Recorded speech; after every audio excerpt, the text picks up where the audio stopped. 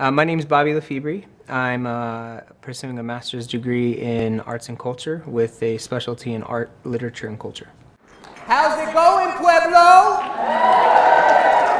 As a performer, they always say that you should either be working or taking a class or learning how to work better. So uh, the master's degree for me was a way to um, you know, further my education both, you know, theoretically as well as um, just for personal growth.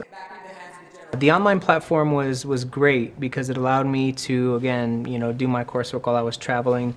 Um, you know, connecting in uh, on an online kind of basis with folks was really, really uh, interesting for me. I'm a social worker. I tend to the wounds of people crucified to circumstance. Right now, I am in the middle of working on my capstone project. I'm, uh, I'm looking at the underrepresentation of Latino performers in mainstream cultural venues.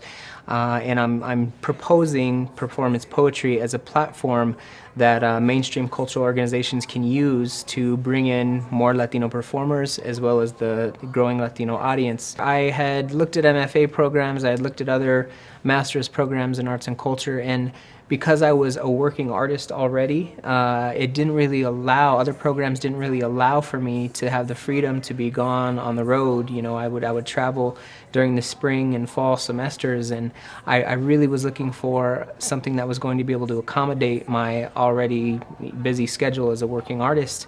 And this program uh, allowed me to continue to do that, and uh, at the same time, um, you know, gaining new skills that I could utilize for um, my future endeavors as a performing artist. These words are bricks, our work our mortar, this moment's our foundation alone. You are just one word. Together we make a sentence. Together we have purpose. Thank you, Pueblo.